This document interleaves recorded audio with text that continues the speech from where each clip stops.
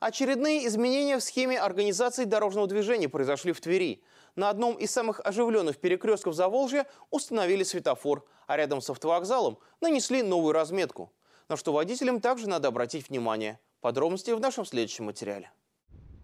Этот перекресток давно вызывает озабоченность у город администрации и ГИБДД.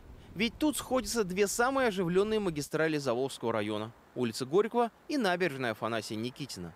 В итоге власти решили, что пешеходный светофор надо заменить на транспортный.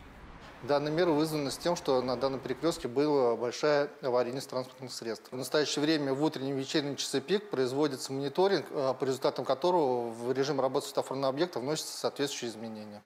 Изменилась схема дорожного движения и в другом оживленном месте, возле автовокзала. Здесь нанесена другая разметка в районе пересечения улиц Коминтерна и Завидова. Ведь именно по последней уже больше года весь транспорт едет в микрорайон Южный. При движении по улице Коминтерн от путепровода в сторону проспекта Чайковского организовано две полосы для движения. Во встречном направлении одна полоса.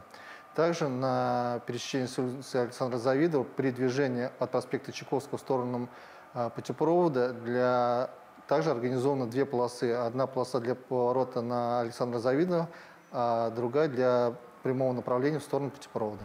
В город администрации отмечают, что эти нововведения сделают проезд транспорта более безопасным на этом перекрестке, который стал очень оживленным после изменения схемы движения в прошлом году.